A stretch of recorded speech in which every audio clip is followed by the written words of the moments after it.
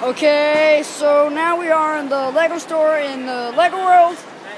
All the Star Wars sets on the, and I'm gonna buy two more um, Clone Trooper battle packs. Uh, and uh, over, and um, over here we have uh, keychains,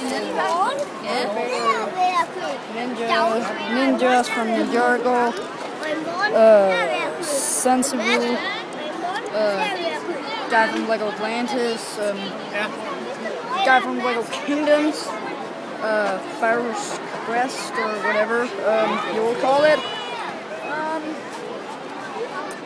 and um, Ninjago spinners and um, uh, over here there's more Star Wars uh, things.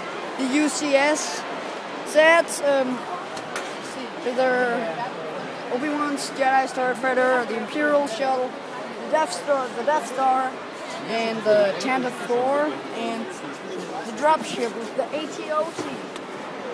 And uh, yeah, there's a Mandalorian battle pack over there. Um,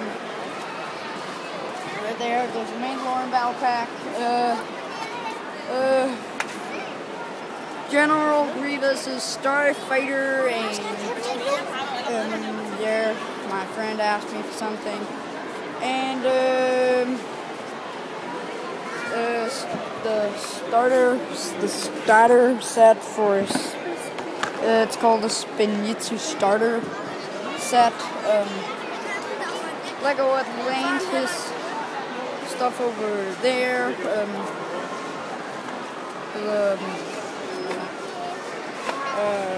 base for the Atlantis, the Atlantis city, the Typhoon Turbo stuff, the uh, and the Angler attack, the Big Shock, and uh, Ninjago uh, magnet sets over here, where um, um, here, you know what you get. And a Duplo thing, and okay. But that's it.